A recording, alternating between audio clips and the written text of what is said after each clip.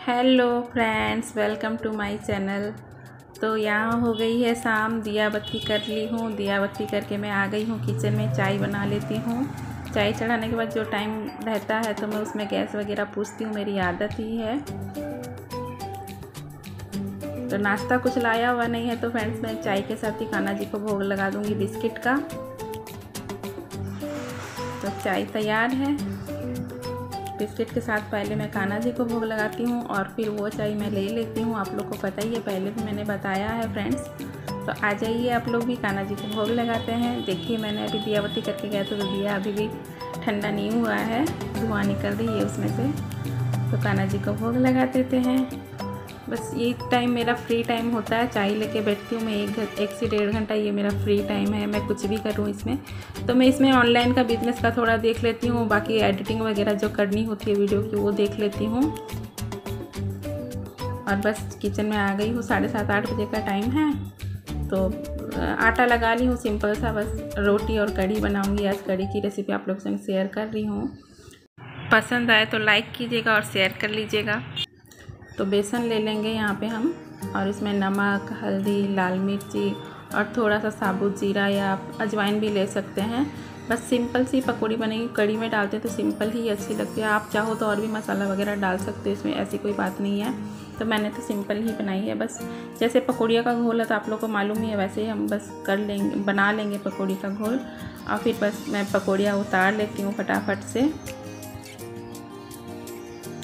कढ़ी तो ऐसे हम बहुत तरह की बना सकते हैं। आज मैं पकौड़ी की बना रही हूँ। जैसे उसमें चने की दाल की भी डाल के हम बना सकते हैं मूंग की दाल डाल के बना सकते हैं या फिर हम पत्ती की जो भाजी आती है वो डाल के भी बना सकते हैं। हमारे मारवाड़ियों में तो गट्टे की भी कढ़ी बनती है मंगोड़ी की भी कढ़ी बनती है तो कई प्रकार की बनती है कढ़ी तो, तो आज मैं पकौड़ी की बना रही हूँ। ये हो जा रहा है हमारा कढ़ी की तैयारी जिसमें मैंने दही ले लिया है। दही में दो चम्मच बेसन हल्दी, नमक और लाल मिर्च पाउडर डाल के इसको अच्छे से फेंट लेंगे। यहाँ चढ़ा दी हूँ कढ़ाई, तेल डाल दी हूँ। इसमें सरसों के दाने, कच्ची मिर्ची, हींग मेरे पास ख़त्म हो रही थी तो मैं नहीं डाल रही हूँ। लेकिन हींग डालते तो और भी टेस्ट बढ़ता है। तो बस छोंक लगा देंगे। चलाते रहेंगे तो उसको छोड़ना नहीं है। छोड़ेंगे तो ये मतलब फट जाती है। तो चलाते रहेंगे, इसको छोड़ना नहीं है। जब तक तो उबाल नहीं आता, उबाल आ गया है।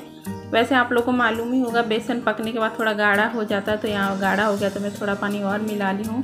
अब जो पकौड़ी जो बना के रखी थी, वो भी डाल लूँगी। तो बस पकौड़ी डालने के बाद पाँच मिनट हमें उबालना होता है। उसके बाद हम गैस ऑफ़ कर लेंगे तो कढ़ी तैयार है। तो यहाँ बना लेती हूँ मैं रोटियाँ फटाफट से। बस मेरा खाना बन जाएगा तैयार। फिर पहले खाना, कान्हा जी को भोग लगाऊँगी मैं। मैं तीनों टाइम ही वैसे कान्हा जी को भोग लगाती हूँ, गरम खाना जब भी बनता है। बाकी बीच बीच में तो जो भी कुछ भी आता है घर में तो पहले कान्हा जी को भोग लगता है, फिर ही हम खाते हैं। तो फ्रेंड्स अगर आप मेरे चैनल पर न्यू हैं तो प्लीज़ चैनल को सब्सक्राइब कर लीजिए और बेल आइकन पर प्रेस कर लीजिए और ऑल पर क्लिक कर लीजिए ताकि जब भी मैं न्यू वीडियो अपलोड करूँ तो सबसे पहले आपके पास नोटिफिकेशन पहुँचे। और पसंद आए तो लाइक शेयर ज़रूर कीजिएगा।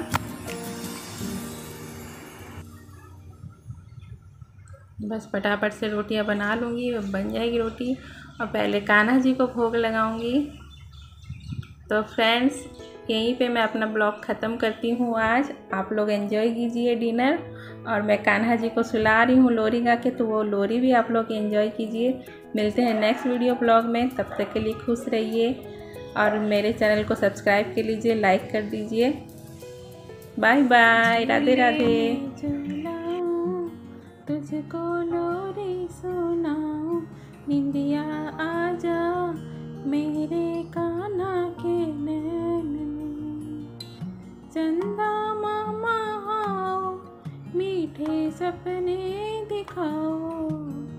आसमां के तारे मेरे गिरधर को सुलाओ निंदिया आजा।